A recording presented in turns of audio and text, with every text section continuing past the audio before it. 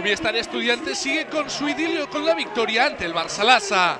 Por tercer año consecutivo, los locales vencieron al cuadro blaugrana, esta vez por 83-81, tras una intensa prórroga. Fue un encuentro muy igualado desde el inicio, en el que Andrei Balvin se convirtió en el referente interior colegial. Antes del segundo periodo se hizo un homenaje a Silvia Domínguez, flamante MVP de la Copa de la Reina. Los de Barsocas consiguieron llegar al descanso con una pequeña ventaja, 33 a 35, aprovechando el acierto de Peter y Koponen, que sumó 15 puntos y 20 de valoración.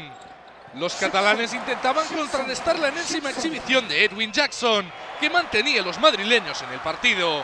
El galo se fue hasta los 32 puntos y 28 de valoración.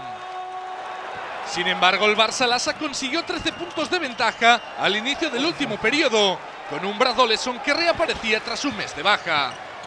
La respuesta local fue inmediata, con un impresionante parcial de 10 a 0 que dejaba el duelo en un puño. Con la entrega de Goran Sutton, que sumó 22 de valoración con 15 rebotes y la gran intensidad defensiva, los colegiales llegaron con opciones a los últimos segundos. Edgar Vicedo tuvo dos oportunidades para convertirse en el héroe del choque, pero el alero no pudo notar ni el triple ni dos tiros libres posteriores. Pero en el segundo fallo desde la línea de Vicedo, Andrei Balvin ganó un rebote ofensivo milagroso y sacó una falta que le permitió empatar el partido a 74, antes del último intento la desesperada de Peter y Koponen. Y en la prórroga ante Tomic se puso al frente de los visitantes. El croata fue el mejor de los suyos con 31 de valoración en su partido 300 en la Liga Endesa.